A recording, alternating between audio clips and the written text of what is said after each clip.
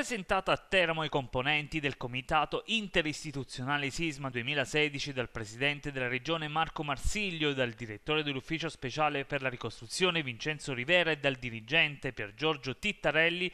il piano da 195 milioni di euro stanziati per la ricostruzione e adeguamenti sismici per 46 scuole abruzzesi, in gran parte nel Teramano danneggiate dal terremoto del 2016 e 2017. Si tratta dei fondi dell'ultimo piano stralcio dei finanziamenti per l'adeguamento e il miglioramento sismico del patrimonio scolastico, licenziato dalla cabina di regia della struttura commissariale guidata da Giovanni Legnini. Noi dobbiamo affrontare con i sindaci, vecchi e nuovi, eh, la, il tema del mm, nuovo programma delle opere pubbliche, in particolare delle scuole. Gli presenteremo un programma che sulla base della disponibilità finanziaria oggi esistente ci consente di dare risposta al 100%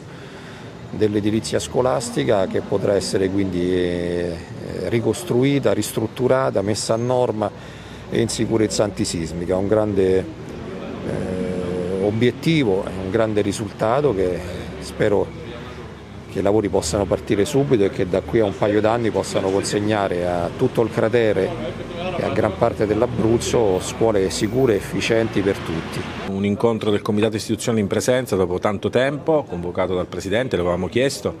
è utile appunto per un uh, confronto programmatico, per fare il punto su tutte le cose che sono state fatte finora, tantissime, i risultati importanti che abbiamo ottenuto, penso al contratto di sviluppo, penso al PNRR